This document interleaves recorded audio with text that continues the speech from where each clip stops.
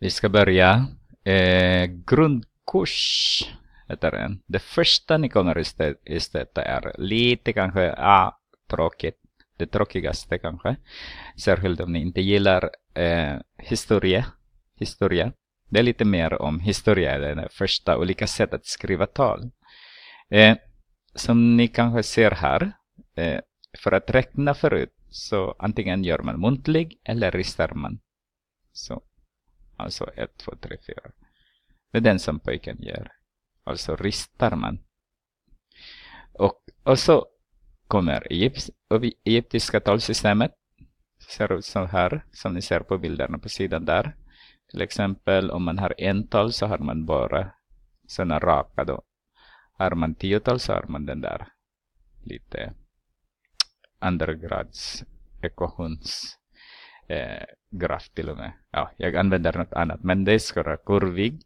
Och sen har vi eh, hundratal. Så ser ni att den ska vara som snäckor. Och sen tusen ska vara som är eh, ja, flaggstång eller vad det än var. Och vi har 20, 20, äh, 10 000 så har vi de här. Ja, jag vet inte vad den heter, men de ser ut så här. Sen har vi 100 000, ser ut så här, som fiskar. Eh, ja, det var den. Och ni kommer att göra någonting här, vad det innebär. Varför behöver vi lära oss den här? Därför att, eh, ja, jag kanske går vidare här så att ni ser. Och sen, de är krångliga alla dessa. Även den här romerska talsystemet, det är krångligt också.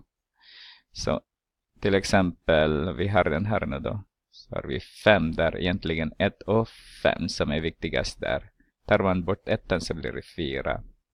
Sätter man ettan så blir det sex. Och blir det så. Och sen tio är en av de viktigaste igen. Och sen 50.